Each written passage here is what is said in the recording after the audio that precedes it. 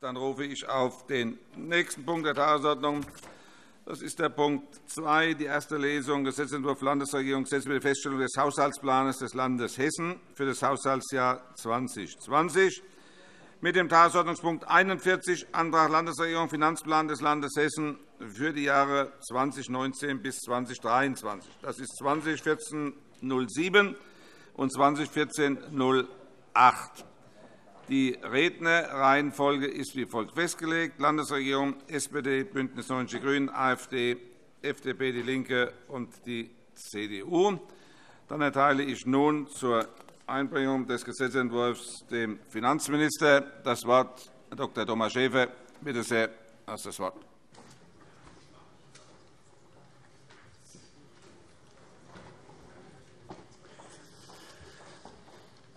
Sehr verehrter Herr Präsident, meine Damen und Herren! Es ist noch kein halbes Jahr her, dass wir in diesem Haus den Nachtragshaushalt 2019 auf den Weg gebracht haben.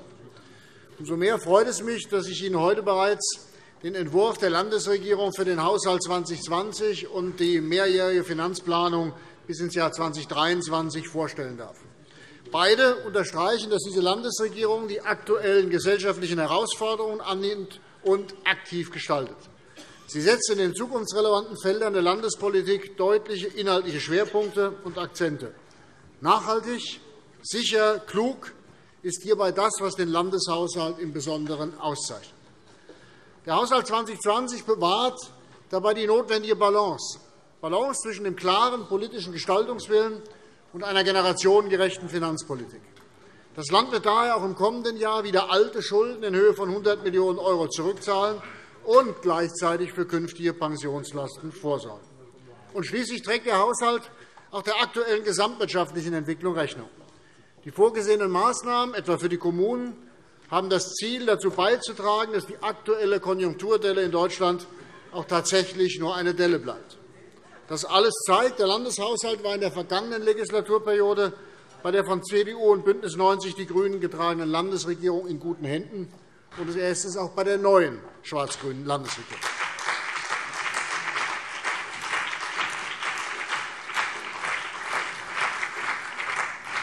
Meine Damen und Herren, das Haushaltsjahr 2020 ist unter verschiedenen Gesichtspunkten ein besonderes Jahr. Es ist das erste Jahr, in dem die Vorgaben der Schuldenbremse aus der Hessischen Verfassung und dem Grundgesetz verbindlich greifen. Aus dem von der Landesregierung vorgelegten Haushaltsentwurf halten wir nicht nur die Vorgaben der Schuldenbremse ein, wir planen sogar weitere alte Schulden zu tilgen.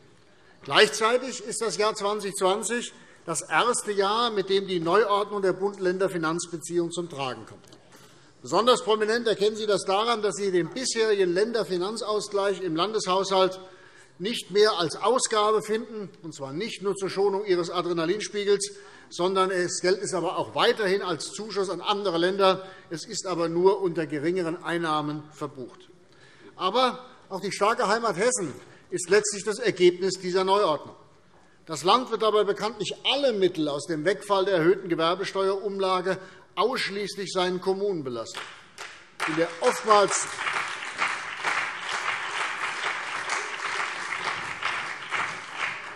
In der oftmals hitzigen Diskussion über die starke Heimat wird dabei gerne die Funktion dieser Umlage unterschlagen.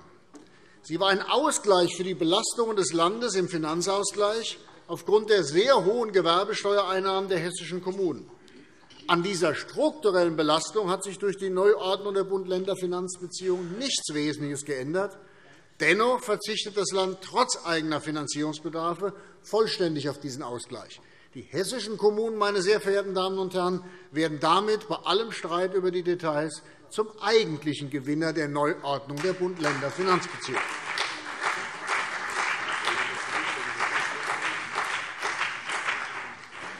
Meine sehr verehrten Damen und Herren, wie Sie sicherlich wissen, hat sich der gesamtwirtschaftliche Hintergrund, vor dem die Aufstellung des Haushalts 2020 erfolgt, eingetrübt. Vor allem die anhaltenden Handelskonflikte und die Unsicherheiten über den Brexit belasten die Konjunktur. Wir müssen davon ausgehen, dass die hohen Wachstumsraten der vergangenen Jahre erst einmal nicht wieder erreicht werden. Dieses Bild zeigt auch die aktuelle Herbstprojektion der Bundesregierung, die davon ausgeht, dass die Wirtschaft in diesem Jahr nur noch um 0,5% und im kommenden Jahr um rund 1% wachsen wird. Aktuell in dieser Stunde sitzen die Steuerschätzer von Bund und Ländern zusammen und prüfen, welche Auswirkungen das schwächere Wachstum für die öffentlichen Haushalte in den kommenden Jahren haben wird. Ich bin wie Sie gespannt auf die Ergebnisse, die Kollege Olaf Scholz in wenigen Stunden verkünden wird. Gleichwohl bin ich nach den zwischenzeitlichen Wasserstandsmeldungen einigermaßen zuversichtlich, dass wir im aktuellen Haushalt auf der sicheren Seite sind. Diese Einschätzung ist dabei nicht etwa nur meinem unerschütterlichen Optimismus geschuldet, der quasi zur Amtsausstattung eines jeden Finanzministers gehört. Sie ist stattdessen auch eine Folge einer bewussten Entscheidung bei der Haushaltsaufstellung. Wir haben damals von dem Ergebnis der Mai-Steuerschätzung aus Vorsichtsgründen einen Sicherheitsabschlag von 100 Millionen € vorgenommen. Dadurch haben wir jetzt einen Puffer, um etwaige negative Auswirkungen der Herbststeuerschätzung, weniger vielleicht für diesen Haushalt, mehr für die Folgejahre, aufzufangen. Es zahlt sich damit an dieser Stelle erneut aus, dass wir auf Solidität statt auf die schnelle Schlagzeile setzen. Meine Damen und Herren,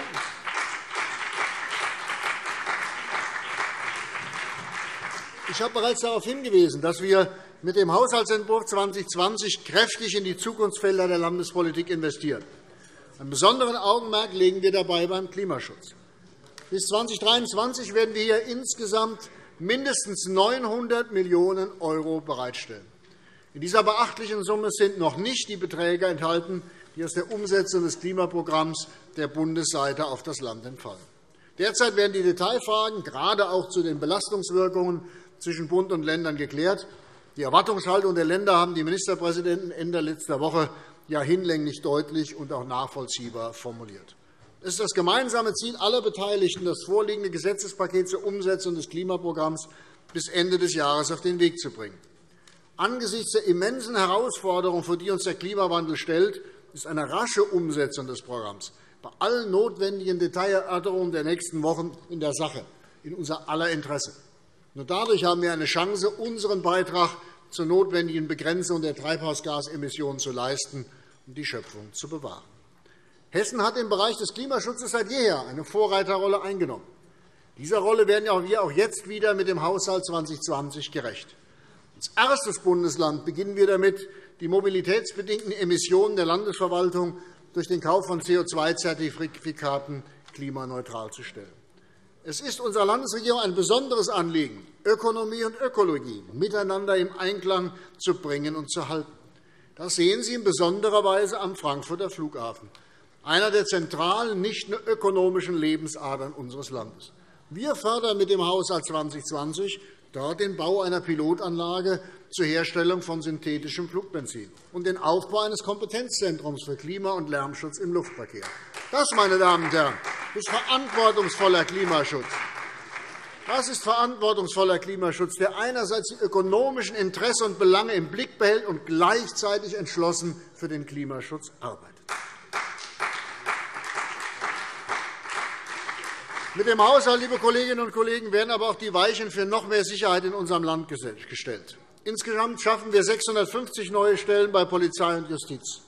Darin enthalten sind allein 250 neue Stellen für den Polizeivollzug, 40 Stellen für die Wachpolizei.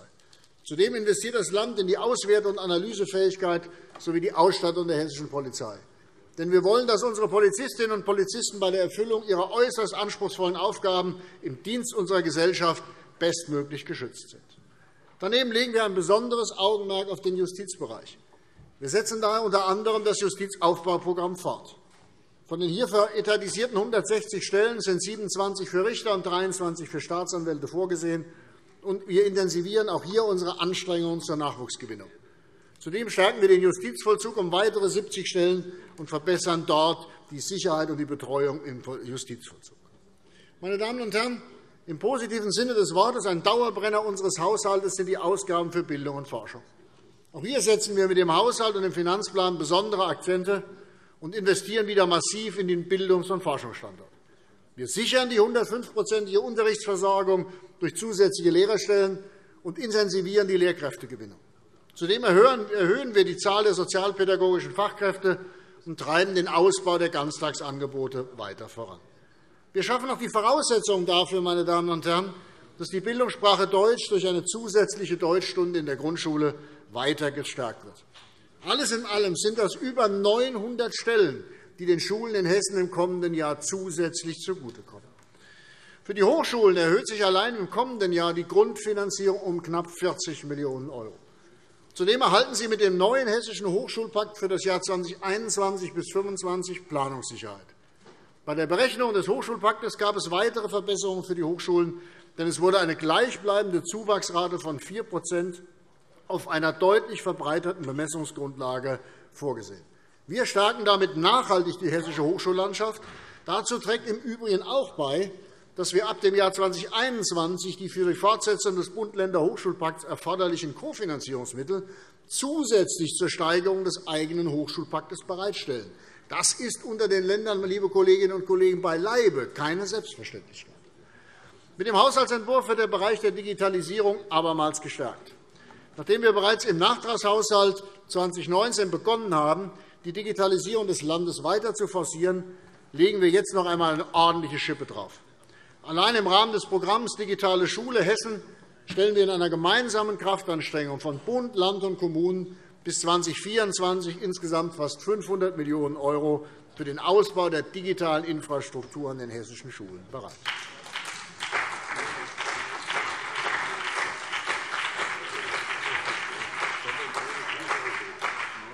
Zudem werden die Ansätze der digitalen Strategie Hessen ressortübergreifend um fast 25 Millionen € aufgestockt auf ein Gesamtvolumen von knapp 90 Millionen €. Zusätzliches Geld gibt es zudem für die Umsetzung des Onlinezugangsgesetzes und des E-Justice-Programms. Liebe Kolleginnen und Kollegen, ein besonderes Herzensanliegen ist mir auch die Sicherung der Leistungsfähigkeit der hessischen Steuerverwaltung. Wen wundert es als Finanzminister? Wir haben dabei bereits im Nachtragshaushalt dieses Jahres umfangreiche Maßnahmen auf den Weg gebracht um unsere hervorragende Steuerverwaltung zukunftsfest aufzustellen.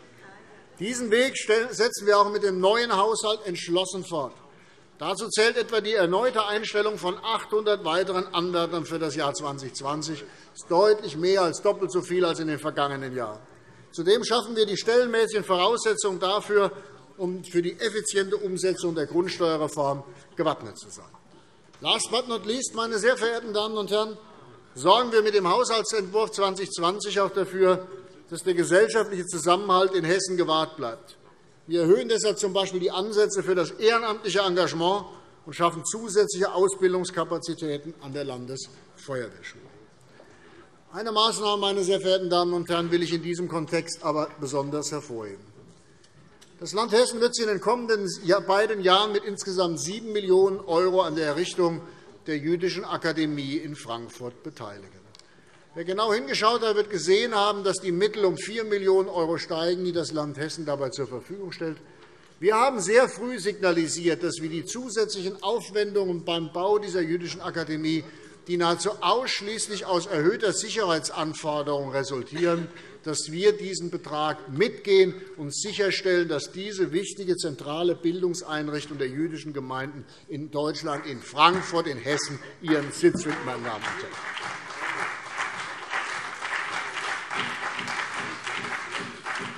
Es ist unsere sehr praktische Sprache und unsere sehr praktische Antwort auf die schrecklichen und abscheulichen Bilder aus Halle, wir machen eines klar. Jüdisches Leben ist bei uns herzlich willkommen, und wir wenden uns entschieden gegen jede Form von Antisemitismus in unserem Land. Hessen ist und bleibt ein weltoffenes und tolerantes Bundesland.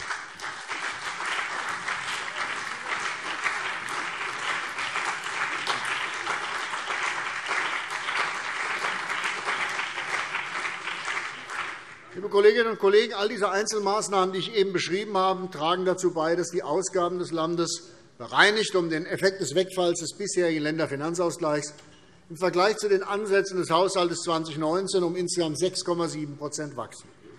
Dabei sind die hessischen Kommunen die, die am meisten von dem neuen Landeshaushalt profitieren. Insgesamt steigen die Leistungen an die Kommunen von rund 8,3 Milliarden € im laufenden Jahr auf rund 9,2 Milliarden € im kommenden Jahr an. Allein das Ausgleichsvolumen des Finanzausgleichs steigt um knapp 800 Millionen € auf fast 6 Milliarden €. Das ist ein stolzes Plus von über 15% In dieser Summe ist auch die starke Heimat Hessen mit rund 318 Millionen € enthalten. Aber auch ohne dieses Programm steigt das KFA-Ausgleichsvolumen im Jahr 2020 um rund 9% Ich finde daher, wir können mit Fug und Recht behaupten, Das Land und diese Landesregierung sind und bleiben ein starker und verlässlicher Partner der hessischen Kommunen, meine sehr verehrten Damen und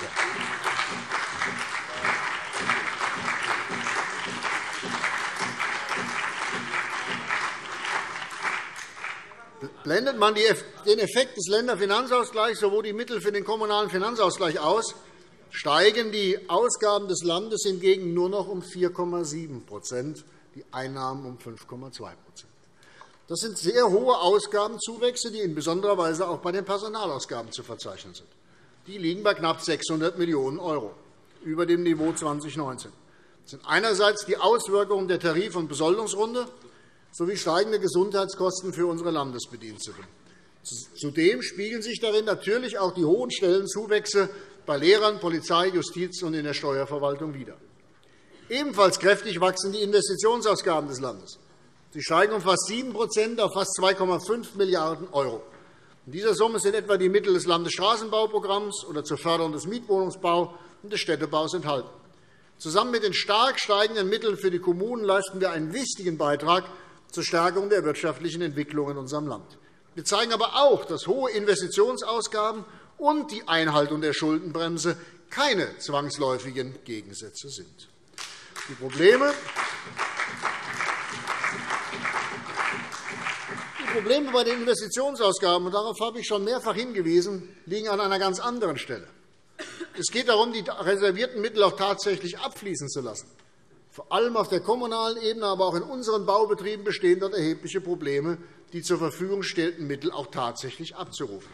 Dabei spielen Kapazitätsengpässe eine Rolle, aber häufig genug fehlt es auch schlicht an wirtschaftlich vertretbaren Angeboten in einer Hochkonjunkturphase der Bauwirtschaft. Zur Lösung dieser Situation gibt es kein Patentrezept. Wir werden jedoch zu prüfen haben, an welchen Stellschrauben wir als Land drehen können, um einen besseren Mittelabfluss zu erleichtern.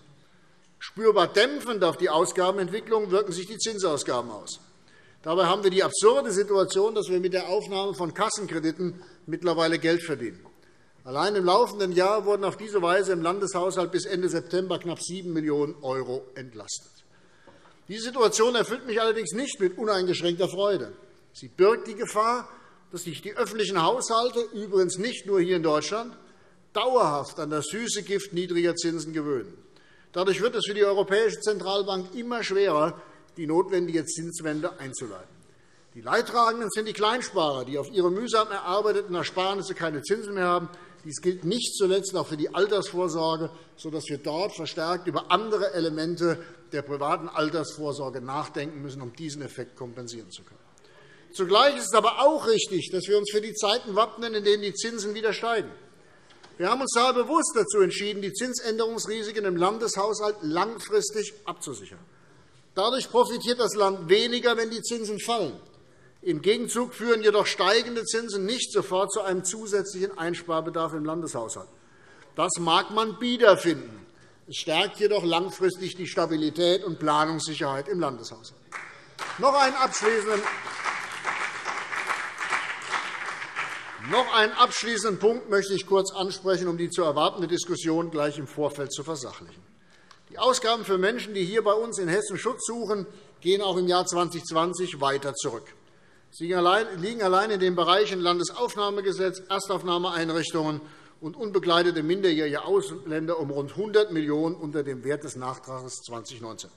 Keine Frage, für den Landeshaushalt bedeuten die flüchtlingsbezogenen Ausgaben immer noch eine erhebliche Belastung. Die liegen jedoch äh, mittlerweile mehr als 900 Millionen € unter dem Spitzenwert des Jahres 2016. Insgesamt steigen die Ausgaben des Landes im Jahr 2020 etwas stärker als die Einnahmen. Dennoch tilgen wir im Jahr 2020 wieder Altschulden in Höhe von 100 Millionen €. Das alles wird möglich, weil wir in früheren Jahren sparsam gewirtschaftet und vorausschauend gehandelt haben. Wir nutzen damit Finanzierungsspielräume, die wir uns nicht zuletzt durch unsere erfolgreiche Konsolidierungspolitik der letzten Legislaturperiode selbst hart erarbeitet haben. Unter diesem dem Stichwort verantwortungsvolle Finanzpolitik gegenüber folgenden Generationen möchte ich Ihnen auf Folgendes gerne hinweisen. Selbst das finanzpolitische Musterland Bayern hat mittlerweile eine massive Korrektur seiner Tilgungsziele angekündigt. Anstelle der für 2020 ursprünglich vorgesehenen Nettotilgung in Höhe von 750 Millionen € sollen jetzt nur noch 50 Millionen € zurückgezahlt werden. zur Erinnerung, wir tilgen genau das Doppelte, meine Damen und Herren. Ich freue mich schon gleich auf die Rede des Kollegen Weiß, der sicherlich diese Tilgung bei uns als viel zu niedrig brandmarken wird, die 100 Millionen €. Ich freue mich dann auf den zweiten Teil seiner Rede, wo er seinen Bundeskollegen Olaf Scholz massiv hier angreifen will, weil er hat nämlich keinen einzigen Euro Tilgung in seiner Haushaltsplanung drin, meine Damen und Herren.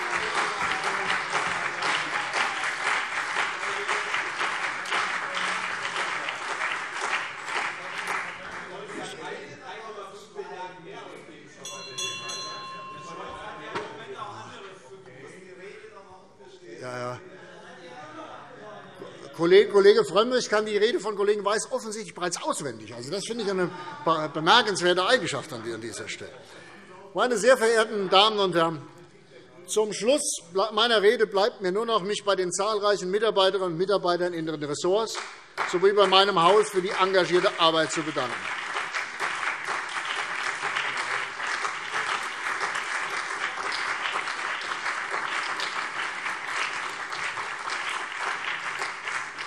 Herr Präsident, die kurze Überschreitung meiner Redezeit ist dem Applaus für die Kolleginnen und Kollegen geschuldet. Ich glaube, das sei mir verziehen.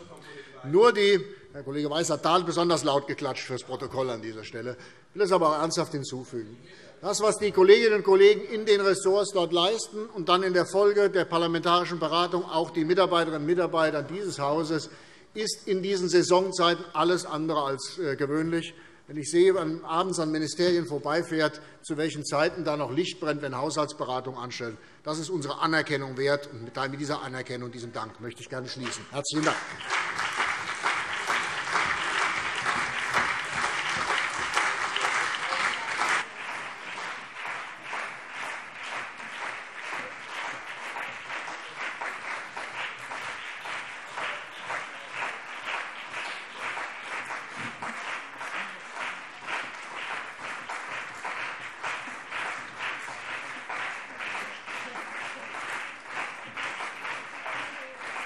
Herr Minister, herzlichen Dank.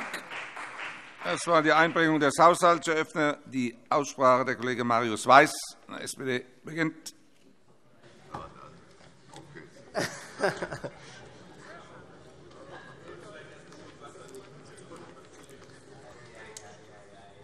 Herr Präsident, liebe Kolleginnen und Kollegen! Herr Finanzminister, am Ende sind Sie ja doch noch ein bisschen munter geworden. Ich hatte am Anfang das Gefühl, dass Sie beim Ausdenken von, beim Ausdenken von Überschriften deutlich ambitionierter sind als beim Vortragen von Inhalten hier. Das gilt, das gilt insbesondere für diese Dreiklänge, die Sie ja immer für Ihre schwarz-grünen Haushalte verwenden. Hessen hält Kurs war es 2016, 2017 war es schlauer, sicherer, gerechter. Der Nachtrag 2019 war digital, jung für Hessen. Jedes Jahr ein neuer Dreiklang für den Haushalt.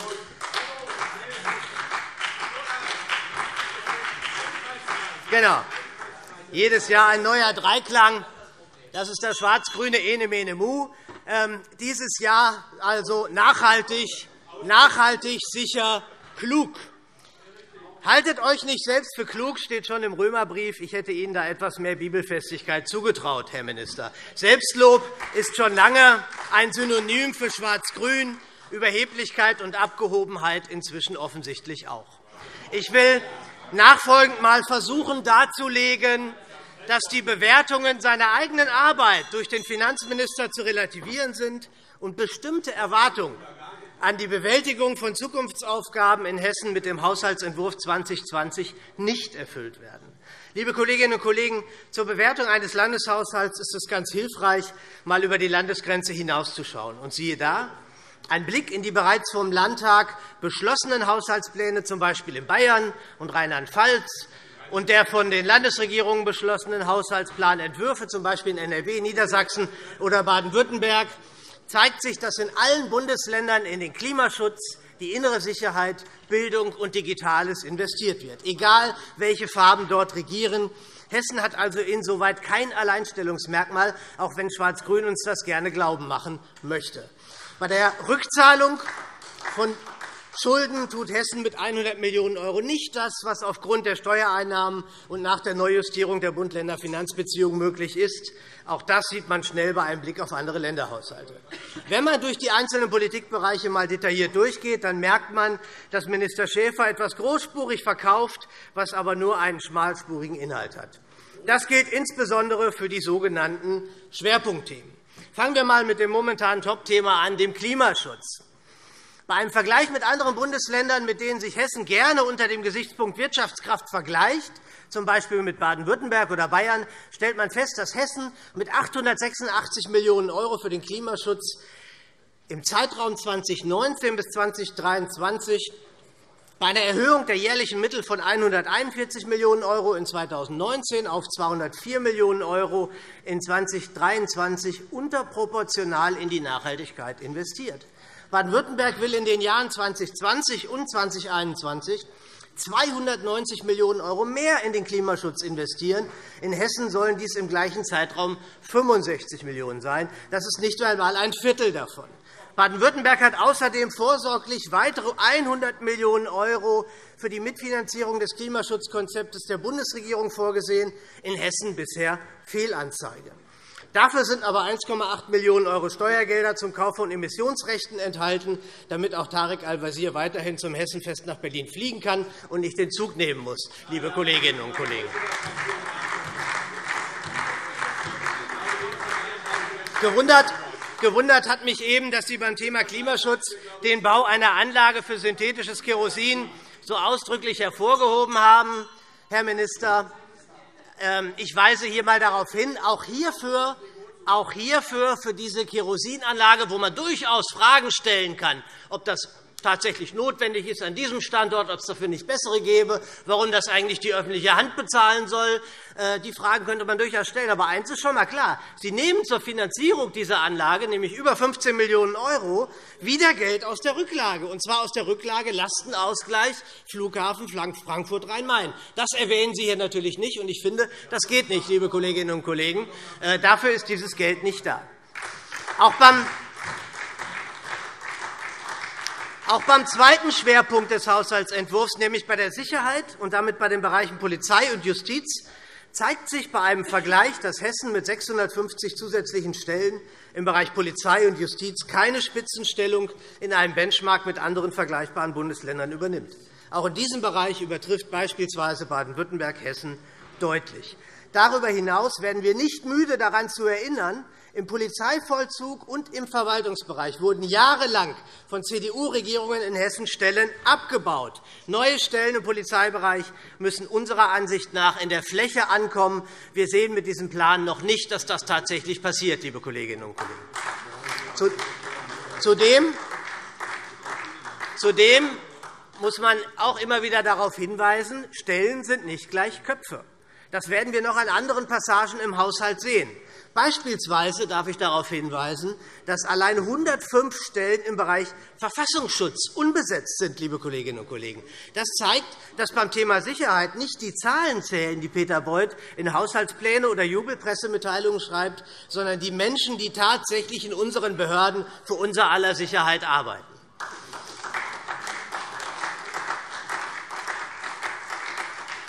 In der Justiz sind Aufwand und Personal schon seit Längerem völlig aus dem Gleichgewicht. Wir haben im Ländervergleich überlange Verfahren, die auf den Mangel an Richtern und Staatsanwälten zurückzuführen ist. Liebe Kolleginnen und Kollegen, laut Hessischem Richterbund gehen zur bereits angespannten Personalsituation in den nächsten zehn Jahren rund 40% aller Richterinnen und Richter in Hessen in Ruhestand.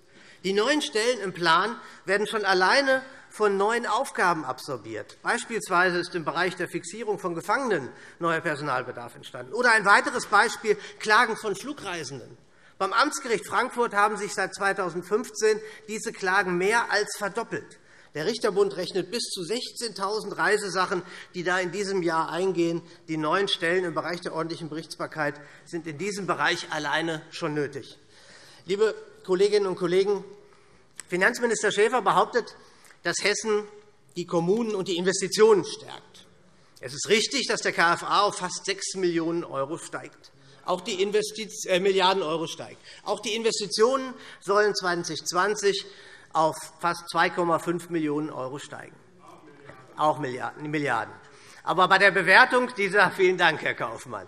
Aber bei der Bewertung dieser Anstiege ist zu berücksichtigen, dass Hessen bei einem Ländervergleich sowohl bei der Finanzausstattung der Kommunen angesichts der äh, bestehenden Verschuldung und bei den Investitionen bei einem Ländervergleich in der unteren Hälfte der Länder liegt. Auch hier relativiert wieder ein Blick über die Ländergrenzen. Die Investitionsausgaben sollen zwar um 6,9% steigen, das stimmt. Dabei sind aber vier Dinge zu beachten. Erstens. Die Investitionsquote steigt nicht, sondern verbleibt im Vergleich zu 2019 mit 8,5% gleich, weil die Gesamtausgaben steigen. Zweitens. Der Finanzplan. Laut Finanzplan soll die Investitionsquote im nächsten Haushaltsjahr, im Jahr 2021, sogar sinken auf nur noch 8,1% Im Haushalt 2018 wurde 1 Milliarde € nicht ausgegeben konnte nicht ausgegeben werden, davon 250 Millionen € Investitionen. Das ist das Doppelte des Straßenbaubudgets, liebe Kolleginnen und Kollegen. Die Investitionsquote 2018 war mit 8,7% geplant.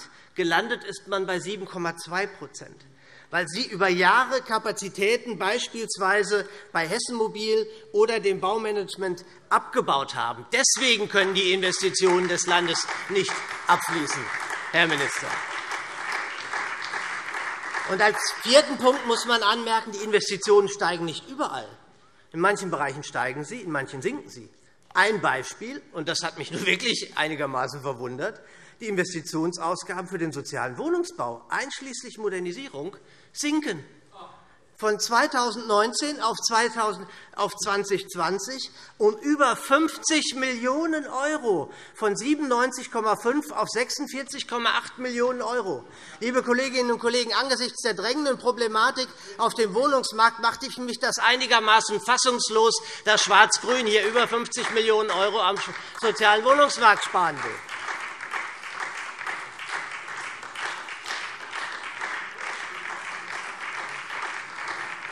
Wenn Sie es nicht glauben, ich kann es auch erst nicht glauben, können Sie noch einmal nachlesen, Seite 70 des Finanzplans. Von Investitionen sind wir schnell beim Thema Verkehr. Liebe Kolleginnen und Kollegen, mit den veranschlagten Mitteln für den Verkehrsbereich lässt sich eine proklamierte Verkehrswende nicht erreichen. Es fehlen insbesondere beim ÖPNV, beispielsweise Eisenbahnbereich, als einem, wenn nicht dem wichtigsten Bereich des Umweltverbundes die notwendigen konsumtiven Mittelerhöhungen zur Verbesserung des Verkehrsangebots und für Investitionen in die Infrastruktur. Es reicht nicht aus, es reicht nicht aus, nur auf die Erhöhung der Bundesmittel im Bereich der Regionalisierungsmittel und des GVFG-Bundesprogramms zu setzen. Es ist erforderlich, dass die von der Bundesregierung geplante Erhöhung der Regionalisierungsmittel durch deutliche Erhöhung der Landesmittel ergänzt wird. Dies gilt auch für die Erhöhung der Bundesmittel für große Infrastrukturbereiche im Eisenbahnbereich, liebe Kolleginnen und Kollegen.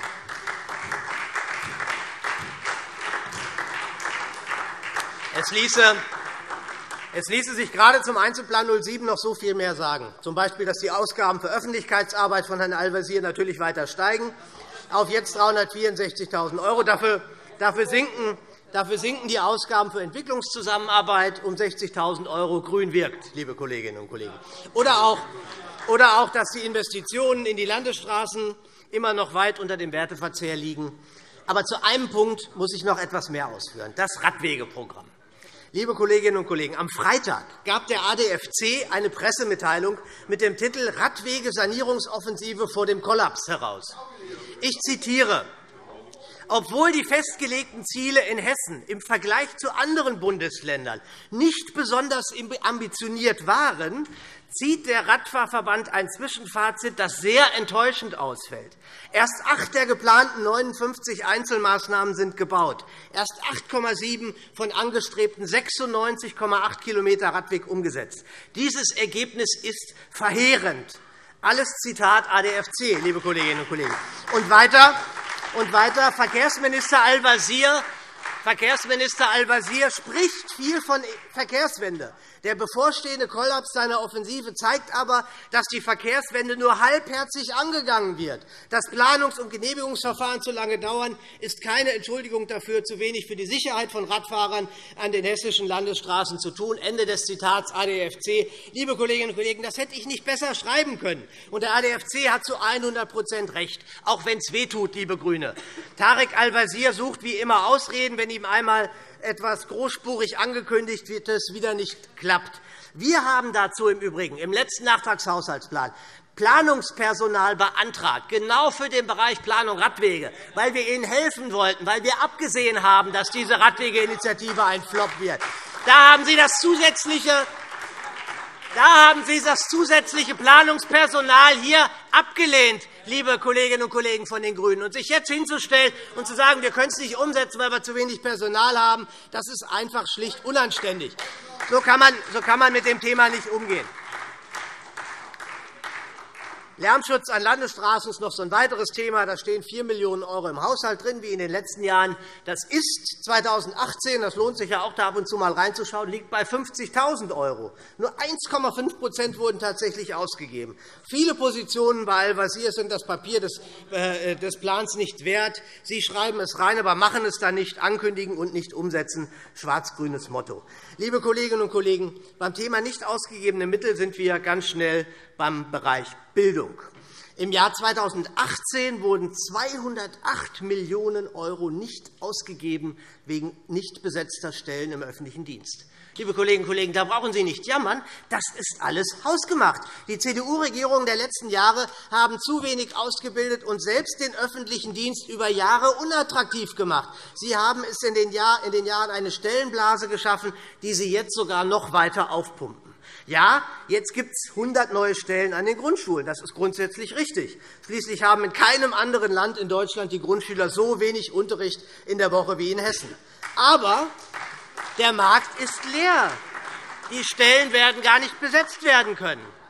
Gleiches gilt für die Förderpädagogen. Die gesteigerten Studienplätze greifen hier für die 40 neuen Stellen noch nicht.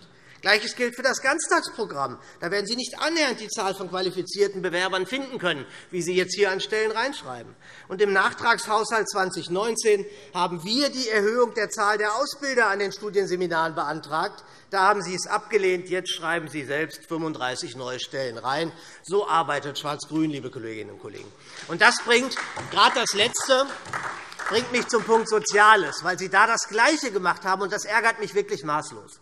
In der Plenarsitzung am 4. September 2019 das ist keine zwei Monate her, haben die Fraktionen von CDU und GRÜNEN hier in diesem Plenarsaal unseren konkreten Antrag auf Abschaffung der Schulgeldfreiheit für Heilberufe abgelehnt. Und jetzt bringen Sie hier heute einen Haushalt ein, der tatsächlich genau diese Abschaffung der Schulgeldfreiheit vorsieht, die Schwarz-Grün hier noch nicht einmal vor zwei Monaten abgelehnt hat. Liebe Kolleginnen und Kollegen, wir machen hier keine Fundamentalopposition, sondern wir machen konstruktive Arbeit und Vorschläge. Dazu gehört auch, dass wir anerkennen, anerkennen, wenn die Regierung einmal etwas gut macht. Dazu gehört z. B. die Erhöhung des Sozialbudgets um 3 Millionen €, die wir begrüßen. Ich finde es dann aber gleichzeitig respektlos von einer Regierungsmehrheit, wenn sie nach dem Motto Mehrheit ist Wahrheit ständig Initiativen der Opposition ablehnt, um sie dann selbst einzubringen. Dass die GRÜNEN sich hier eins zu eins an die Überheblichkeit der CDU angepasst haben, ist einfach nur beschämend, liebe Kolleginnen und Kollegen. Und wie sieht es eigentlich wie sieht es eigentlich bei einem, bei, bei einem der Zukunftsthemen aus, dem Bereich Digitalisierung? Eine Milliarde mehr wurde angekündigt für Digitalisierung. Dazu habe ich auch ein paar Anmerkungen. Auf alle Einzelpläne verteilt finden sich ca. 200 Millionen € für Digitales im Haushalt 2020. Aber nur etwa ein Drittel davon, tatsächlich 73 Millionen € im Ressort der Digitalministerin. Das hat mit der versprochenen Bündelung wenig zu tun, liebe Kolleginnen und Kollegen. Bestandteil der 1 Milliarde € sind übrigens auch Personalkosten. Aber ich hoffe, dass Frau Sinemus nicht dem Missverständnis unterliegt, dass sie die 1 Milliarde € komplett für Personal ausgeben kann.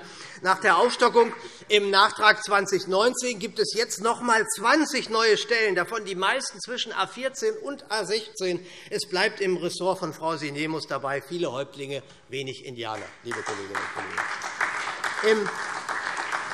Im Mobilfunkausbau im Mobilfunkausbau sind von geplanten 50 Millionen € in 2019 übrigens nur ganze 500.000 abgeflossen, weil eine entsprechende Förderrichtlinie in Ihrem Haus fehlt.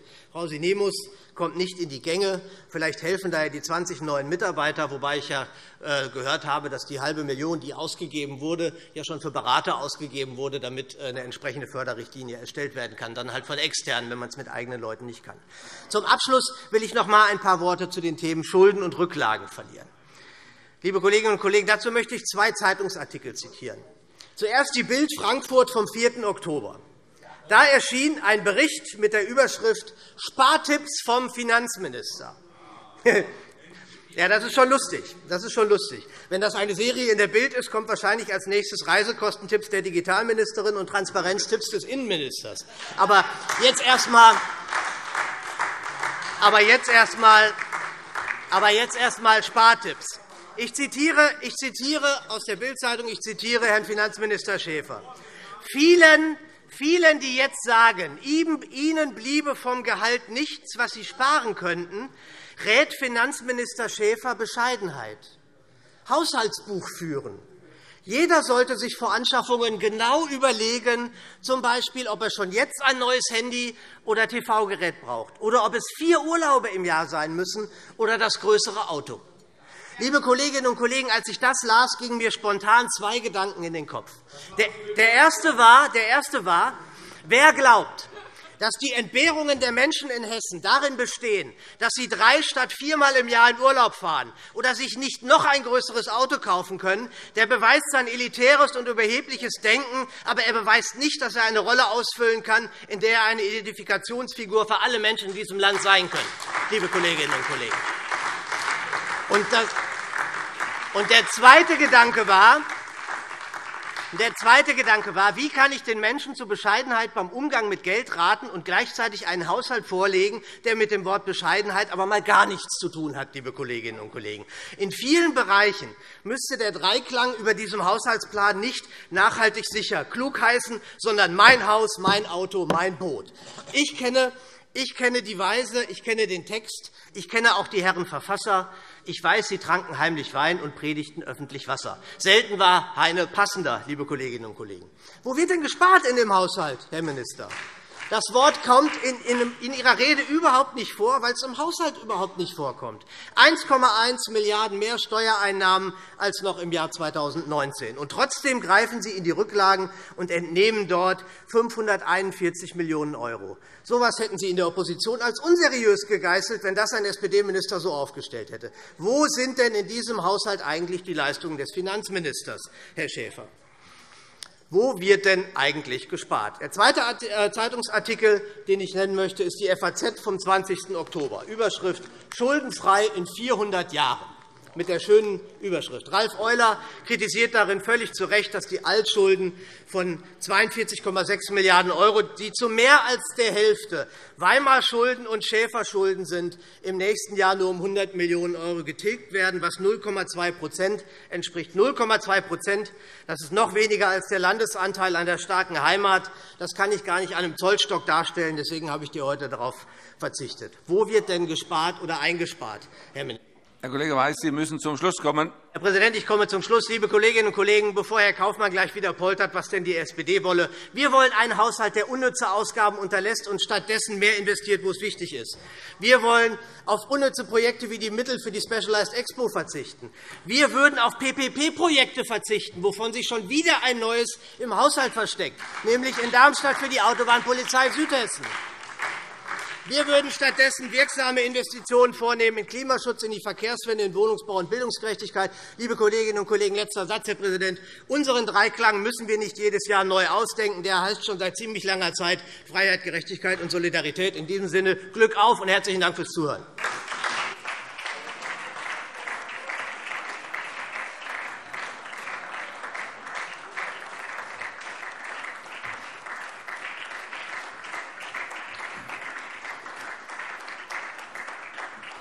Vielen Dank, Kollege Weiß. Das Wort hat der Abg. Michael Reul, CDU-Fraktion.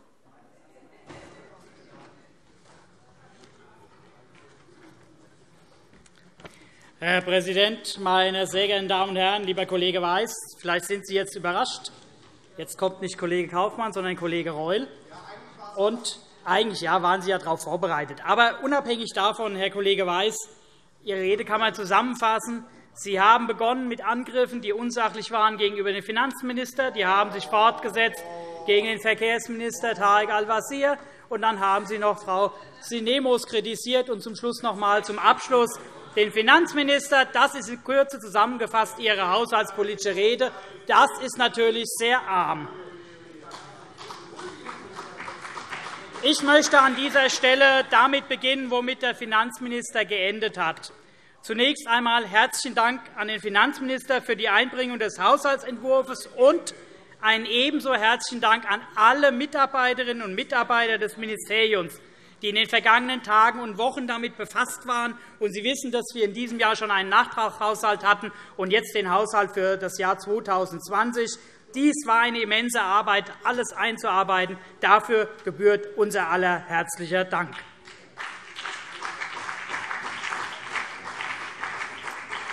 Auch dieses Jahr befassen wir uns wieder mit einem umfangreichen Zahlenwerk, in dem nun wichtige, konkrete Projekte des schwarz-grünen Koalitionsvertrages angegangen werden. Unser Finanzminister hat dazu schon einiges ausgeführt. Um es gleich zu Beginn zu sagen, der Haushaltsentwurf für das Jahr 2020 macht unser starkes Hessen noch stärker und setzt viele Impulse für die Zukunft.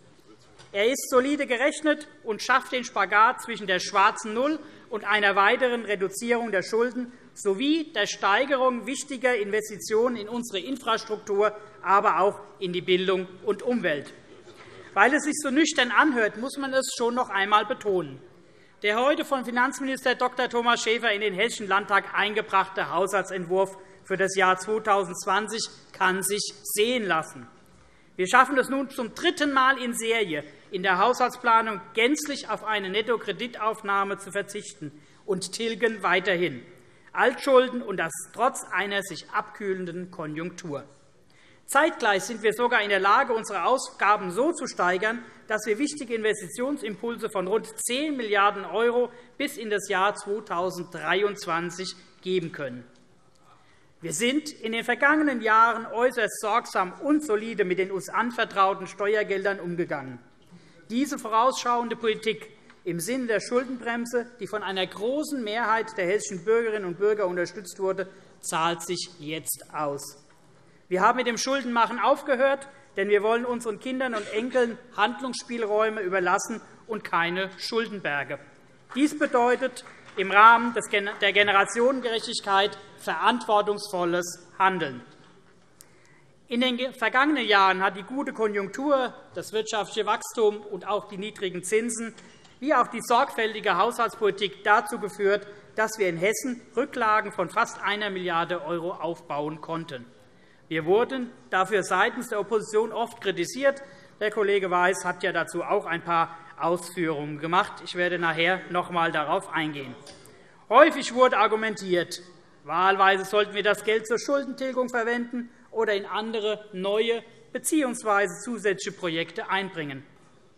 Wir haben in guten Zeiten unsere Rücklagen gestärkt. Und dies ist wichtig, dass man vorausschauende Finanzpolitik macht und dass man in guten Zeiten die Rücklagen verbessert und das Geld zurücklegt, welches wir jetzt in die Hand nehmen können. Und wir zeigen damit, dass gerade in den Zeiten, in denen von verschiedenen Seiten Zweifel an der Schuldenbremse geäußert werden, die Diskussion wird ja allenthalben geführt, dass es durchaus möglich ist, diese einzuhalten und trotzdem kräftig zu investieren und damit unser Land gemeinsam voranzubringen.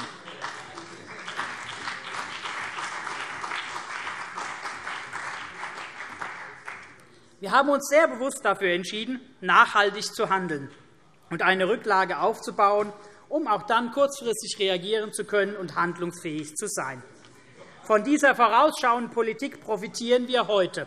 Wir sind in der Lage, unsere Ausgaben zu erhöhen, Investitionen zu steigern, die schwarze Null zu halten und dazu noch zusätzlich 100 Millionen € Schulden zu tilgen. Dieser Haushalt bestätigt die Politik der schwarz-grünen Koalition der vergangenen Jahre. Wir haben in guten Zeiten nicht jedem Ausgabewunsch stattgegeben und sind nicht dem Versuch erlegen, allen alles zu versprechen, wie es allen die Opposition immer wieder tut. So konnten wir Rücklagen aufbauen, die wir jetzt einsetzen können, um weiter zu investieren, handlungsfähig zu bleiben und damit auch einen Impuls zur Unterstützung der konjunkturellen Entwicklung in unserem Land zu geben. Ich möchte in dem Zusammenhang auch auf einige Schwerpunkte im Haushaltsentwurf eingehen, die ich persönlich erwähnenswert halte. Schon bei den Beratungen zum Nachtragshaushalt habe ich darauf hingewiesen, dass wir mit dem Haushalt 2020 die Umsetzung der Maßnahmen aus dem Koalitionsvertrag beginnen. Mit dem Nachtragshaushalt, das wissen Sie, haben wir die Umsortierung über das Digitalministerium vorgenommen und auch dort die Stellen den einzelnen Bereichen zugewiesen. Aber nichtsdestotrotz, auch wenn Sie es in Abrede stellen, haben wir damals schon im Nachtragshaushalt auch in einigen Bereichen mit Stellen nachgesteuert. Ich möchte an dieser Stelle erwähnen, Herr Weiß, weil Sie es so stark kritisiert haben, Gerade im Bereich der Bildung haben wir dafür gesorgt, dass im Nachtragshaushalt 250 weitere Stellen für Lehramtsreferendare geschaffen werden konnten und diese auch dann zeitnah ihren Dienst beginnen konnten. Dies ist ein wichtiger Impuls, um einfach auch nachzusteuern, weil eine Ausbildung dauert eine gewisse Zeit, bis diese Lehramtsreferendare auch in den Schuldienst kommen. Und deshalb läuft Ihre Kritik an dieser Stelle vollkommen ins Leere. Mit dem jetzt vorgelegten Haushalt investieren wir dabei zielgerichtet in wichtige und zukunftsfähige Themenfelder und gehen auch aktuelle Probleme offensiv an. Ich will als erstes nennen die Auswirkungen des Klimawandels bzw. der trockenen Sommer, die wir in den letzten zwei Jahren zumindest ganz massiv direkt gespürt haben. Und wir sehen die Auswirkungen im hessischen Wald. Wir haben alle die Bilder von toten oder absterbenden Bäumen vor Augen. Wir müssen handeln, das ist richtig und wir tun es. Daher ist es wichtig, dass wir zusätzliche Mittel von rund 200 Millionen € im Rahmen eines Sonderprogramms für den Wald zur Verfügung stellen, um zu unterstützen und in der Zukunft wieder einen gesunden und starken Wald zu haben. Hier gibt es meines Erachtens auch einen breiten Konsens im ganzen Haus dafür. Ich wiederhole die Fakten, weil es ist anscheinend notwendig. Sie haben den Bereich der inneren Sicherheit angesprochen, und der Finanzminister hat es schon äh, ausgeführt, aber die Wiederholung liegt natürlich auch im Didaktischen, dass man dies tun sollte. Und deshalb, Herr lieber Kollege Herr Weiß, um die Sicherheit in Hessen weiter zu steigern, werden 250 Polizeivollzugsstellen und 40 Wachpolizeistellen zusätzlich veranschlagt. Ferner werden auch das Fach- und Verwaltungspersonal mit 70 Stellen sowie die Ausbildung an der Hessischen Hochschule für Polizei und Verwaltung mit zusätzlichen Fachkräften gestärkt. Zur nachhaltigen Stärkung der Justiz und als Fortsetzung des Justizaufbauprogramms sind 160 weitere Stellen vorgesehen. Zusätzlich werden äh, zusätzliche Mittel für die Nachwuchsgewinnung bereitgestellt. Das können Sie nicht negieren. Dies ist auch eine immense Kraftanstrengung. Aber wir wissen, dass es notwendig ist, und wir unterstützen gerne in diesen Bereichen, gerade im Bereich der Justiz und auch der Polizei, die uns gemeinsam am Herzen liegen. Ich komme zum Bildungsbereich. Ich hatte vorhin schon einmal das angesprochen, was wir im Nachtragshaushalt gemacht haben.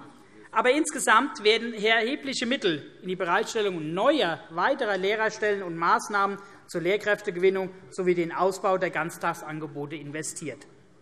Dazu bis zum Jahre 2024 rund 500 Millionen € für den Ausbau der digitalen Infrastruktur eine immense Kraftanstrengung und auch ein zusätzlicher finanzieller Aufwand zu dem Bundesprogramm, das 372 Millionen € beträgt. Und der Rest wird dann durch das Land Hessen mit zufinanziert, sodass wir auf diese große Summe kommen. 10% wäre die Zufinanzierung. Wir steigern das auf 25 Insgesamt auch dies eine wichtige Signalwirkung hat es an dieser Stelle, eine Kraftanstrengung und ein wichtiger Impuls für die Zukunft in unserem Lande. Ganz wichtig ist die Förderung der Bildungssprache Deutsch. Wir planen eine zusätzliche Deutschstunde für den Bereich der Grundschulen und werden dafür insgesamt 100 neue Stellen schaffen. Für Deutschförderkurse stellen wir 50 neue Stellen zur Verfügung, dazu auch erhebliche Sachmittel, sodass wir hier insgesamt in einer Summe von 7 Millionen € engagieren. Weitere wichtige Punkte, wo wir finanzielle Mittel zur Verfügung stellen, ist angesprochen, das Landesstraßenbauprogramm 2020 stehen insgesamt 124 Millionen € zur Verfügung, um zu sanieren und wichtige Verbindungen zu finanzieren und auch zu realisieren. Ich komme zu einem weiteren Bereich, der von großer Wichtigkeit ist, und zwar der Bereich der Hochschule. Wir erhöhen die Mittel des Hochschulbauprogramms Heureka bis 2026 um insgesamt 250 Millionen €. Das sind ganz wichtige Mittel für Investitionen in unseren Bildungsstandort. Im Bereich der Hochschulen erhöht sich die Grundfinanzierung um knapp 40 Millionen €. Die erfolgreichen Programme LOEWE und Heureka II werden fortgesetzt und die damit verbundenen Mittel gesteigert. Zusätzlich kommt noch der Hessische Hochschulpakt für die nächsten Jahre.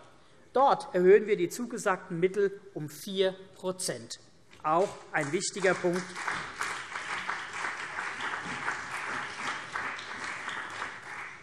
Ein sehr innovativer und äh, weiterer neuer Ansatz ist, dass wir jetzt im Haushalt vorgesehen haben, einen Wachstumsfonds, den Future Growth Fund, mit zu initiieren und in die Wege zu leiten. Wir wollen dort insgesamt die hessische Start-up-Szene vor allem rund um Frankfurt, Sie kennen sie vielleicht, die sich heftiger Konkurrenz aus Berlin und München erwehren muss, mit zu unterstützen und zu fördern. Deshalb haben wir diesen Fonds ganz neu im Haushalt veranschlagt, der die Förderung von Start-ups im Bereich technologieaffiner Hightech-Unternehmen und innovativer Geschäftsmodelle zum Ziel hat. Dieser Fonds soll mit einem Gesamtkapital von 200 Millionen € ausgestattet sein, wovon das Land insgesamt 30 Millionen € beisteuert.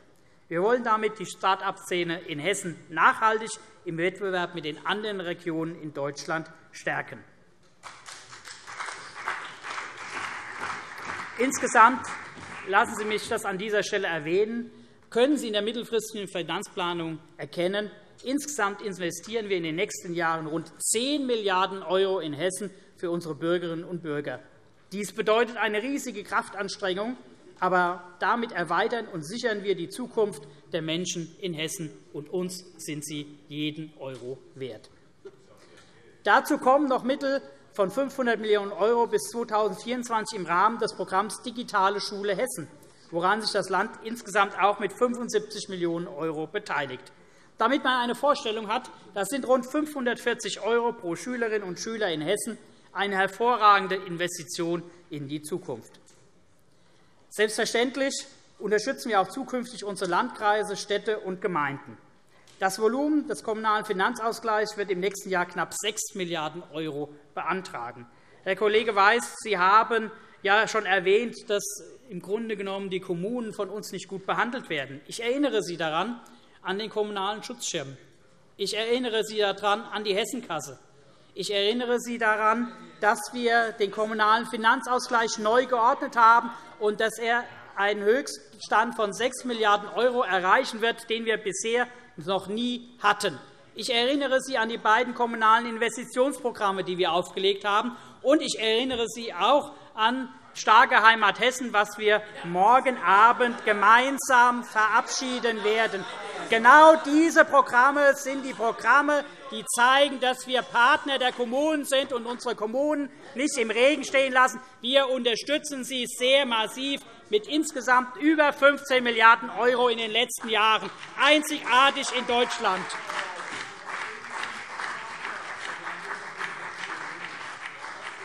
Zusätzlich kommt auch noch ein Landesbauprogramm für den Neubau und die Sanierung von Kindertagesstätten. Herr Kollege Weiß, ich weiß natürlich, dass Ihr Tremolo dies an dieser Stelle nicht zulassen möchte. Aber nehmen Sie zur Kenntnis, die Hessische Landesregierung, die schwarz-grüne Landesregierung weiß die Wichtigkeit der Kommunen, und die Kommunen liegen uns am Herzen. Und wir werden sie jetzt und auch in Zukunft weiterhin massiv unterstützen. Das ist uns ein Anliegen, und dem werden wir auch gerecht werden. Meine Damen meine Herren, Sie können erkennen, mit diesen Investitionen in unsere Sicherheit, in die Bildung, in die Infrastruktur und den Klimaschutz und die Digitalisierung bringen wir das Land Hessen voran. Dieser Haushalt ist insgesamt ein Stärkungsprogramm für unser ganzes Land. Wir führen wichtige Vorhaben fort, starten neue Projekte mit neuen Innovationen und bringen unser Land so voran, dass die Menschen gerne und gut hier leben. Sehr gespannt darf man natürlich auch in der Debatte sein auf die Änderungsvorschläge der SPD. Wenn man die Aussagen von dem Kollegen Weiß ernst nimmt, dann hat er ausgeführt, zu wenig Investitionen, zu wenig Personal, zu wenig Abbau von Altschulden, zu wenig Unterstützung für die Kommunen. Es steht zu befürchten, dass mal wieder allen alles versprochen wird, jedoch ohne jeglichen seriösen Finanzierungsplan. Wir werden sehr genau darauf achten und auch darauf entsprechend hinweisen. Meine sehr geehrten Damen und Herren, ja, Sie mögen das vielleicht kritisieren, aber es gibt genug Zitate aus Pressemitteilungen, die ich Ihnen vortragen könnte, die dies natürlich belegen. Und deshalb glaube ich, Herr Kollege Weiß, Sie haben die Messlatte oder den Zollstock doch sehr hoch gelegt an dieser Stelle, und wir sind sehr gespannt, ob Sie darüber springen oder darunter durchlaufen werden.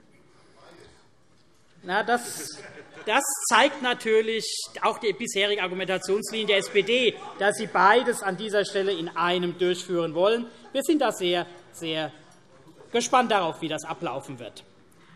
Insgesamt, meine sehr geehrten Damen und Herren, wir alle haben eine Vorstellung von Politik und Schwerpunkten, die zu setzen sind. Dabei eint uns aber eines.